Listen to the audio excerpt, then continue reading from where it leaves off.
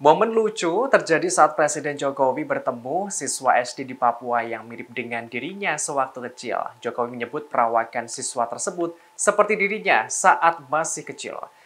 Momen itu terjadi saat kepala negara berkesempatan melakukan temu bicara dengan sejumlah siswa SD Papua di Ballroom Cendrawasih Swiss Bell Hotel Kota Jayapura, Provinsi Papua pada Jumat 7 Juli. Dalam kesempatan itu, salah seorang pelajar bernama Andi mengingatkan Jokowi akan masa kecilnya. Bermula, Andi berhasil menjawab pertanyaan matematika yang diberikan Presiden Jokowi.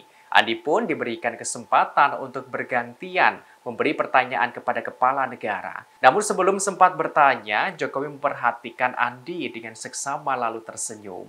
Kepala pemerintahan menyebut perawakan Andi seperti dirinya saat masih kecil.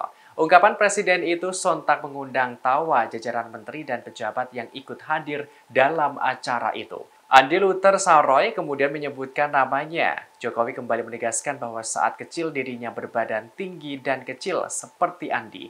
Seusai acara pertemuan dengan siswa-siswi itu, Andi menyampaikan kesan-kesannya ia mengaku sangat senang bisa bertemu dan duduk di samping dengan orang nomor satu di Indonesia. Padahal Andi sempat khawatir saat berangkat ke lokasi acara dirinya sudah terlambat. Ini kayak saya waktu kecil ini. iya, sama. Apanya ini badannya juga seperti siapa namanya? Andi. Andi ya, kayak Andi ini dulu badan saya kecil, tinggi kayak gini. Persis saya jadi ingat waktu kecil. Terima kasih sudah nonton. Jangan lupa like, subscribe, dan share ya.